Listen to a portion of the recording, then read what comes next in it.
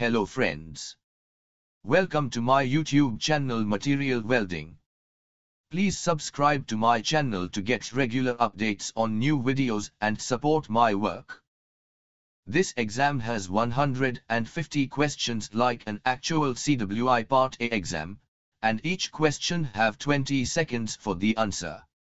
You can pause the video wherever you might need longer time to answer. The answers are displayed at the end of the video.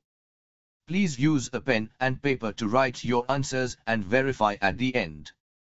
To pass the CWI exam, candidate need minimum 72% marks that mean you need minimum 108 correct answers. Best of luck.